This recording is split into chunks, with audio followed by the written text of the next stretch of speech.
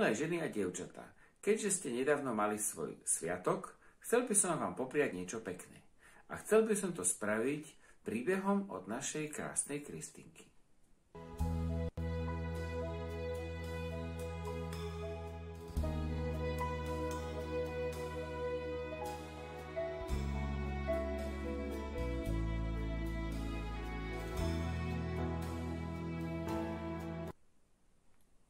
Kristýna Rojová napísala knižku, ktorá sa volá Druhá žena. Je to príbeh rodiny sedliaka zo slovenskej dediny. Možno práve z okolia Starej Turej. Martinovi Mrázovi zomrela žena a zostal sám s malými deťmi. Kvôli ním sa druhýkrát oženil. Kvôli sebe by to nebolo robil. Manželstvo sa mu nevydarilo, nevydarilo sa ani jeho rodičom. Ľudia v dedine ho poznali pod prezývkou Škaredohľad.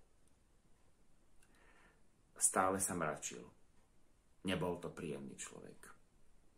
A predsa za neho Ilenka, jeho druhá žena, išla. Aká bola? Deťom povedal, že im dovedie žandára, aby ich dal do laty. A zlé susedky deťom narozprávali príbehy o zlých macochách. Mrázové deti sa veru báli svojej novej mamy. Ale opak bol pravdou. Hneď ako osamela s deťmi, vedela si ich získať úprimnosťou, srdečnosťou a milotou. Ona sama bola sirota a vyrastala v nelahkých pomeroch, najprv u zlej macochy, potom u otcovej tety.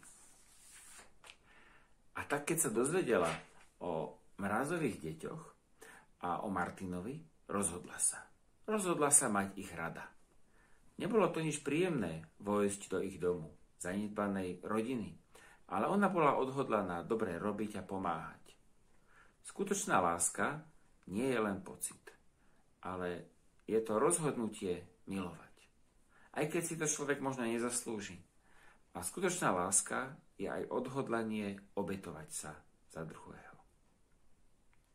Kristínu Rojovú považujeme za náboženskú spisovateľku.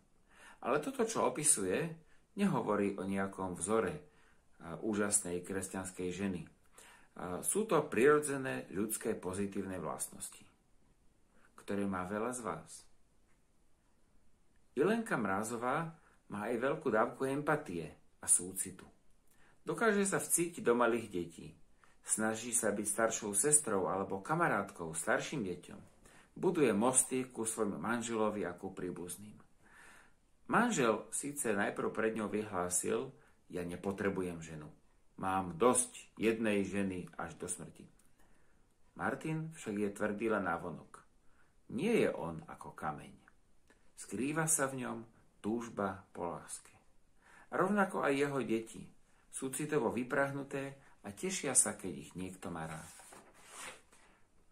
To by mohol byť šťastný koniec. Ale príbeh pokračuje ďalej. Rojova nás vedie ďalej do ďalších príbehov.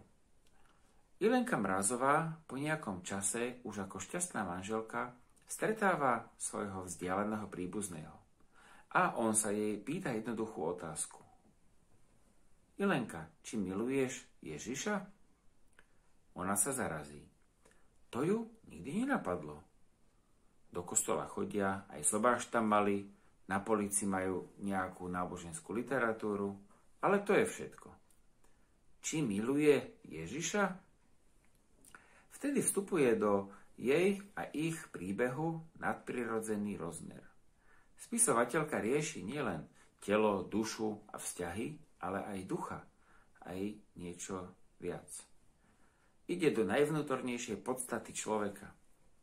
Zdroj našej lásky, empatie a medziludských vzťahov je v tom, aký máme vzťah so stvoriteľom. Milé ženy a dievčatá, ku vášmu sviatku vám prajem to, čo mala Ilenka Mrázová.